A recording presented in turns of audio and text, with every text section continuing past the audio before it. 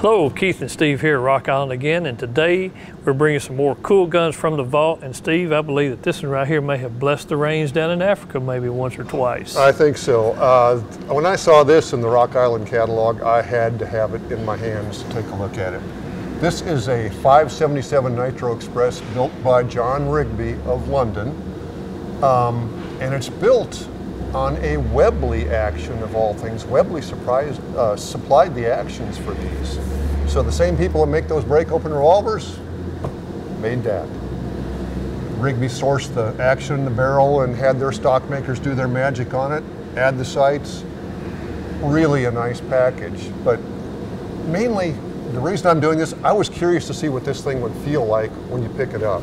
And it's heavy, but it's doable you could, uh, you could bring this to bear fairly quickly on something trying to chase you down.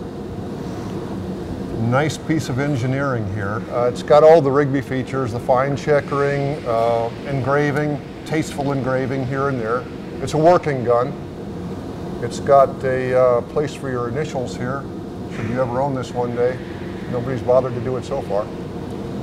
Um, it's been used. There's some repair marks here, some fills or it's been uh, been hit hard on something. Yeah, she's definitely seen a couple of safaris. Yeah, but the screws are still timed up. They've been they've been used a little bit, but they're timed up. Got that nice fore end mm -hmm. there. That uh, that front sight, I understand, is a sleeve. Let me hold it still here. That's a sleeve that was sweated on. It was machined as a ramp with a sleeve on it and put on the end of the barrel pretty nice.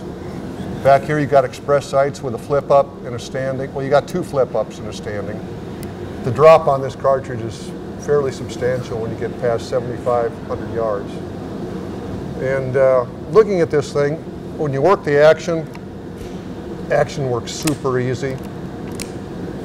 Safety goes on and off with a real sharp click, but it cannot be moved without effort. So it's smooth and yet it takes some yeah. oomph. So you're not going to accidentally set this gun off, which you don't want.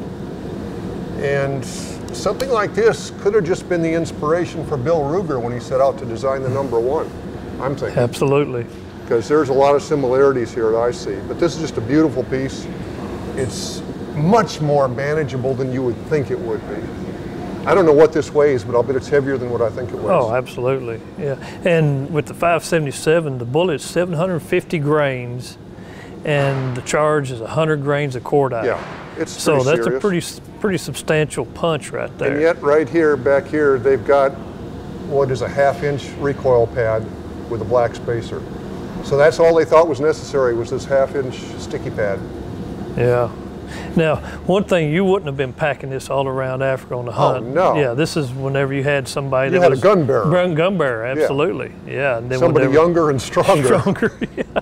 Then whenever the the game came up, and here they come charging a bull elephant or hippopotamus or rhino, then all right, game is on. Even better if you had two of these ready to go. Yeah. I can see why the double guns were, were popular, but they would weigh even more. Yeah. But two shots of 577 on tap, nothing to laugh at. No, absolutely yeah. not. This is just a great, a great uh, example of English gun making. Yeah. It really is. Um, you would find this stock very comfortable to handle and to shoulder. It's just the weight. You'd have to build up and you'd have to work out a little bit before you took this on a trip. yeah.